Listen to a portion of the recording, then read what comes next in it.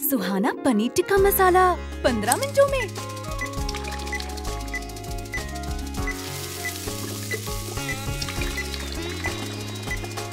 अब आपके हाथ का खाना मिनटों में, सुहाना।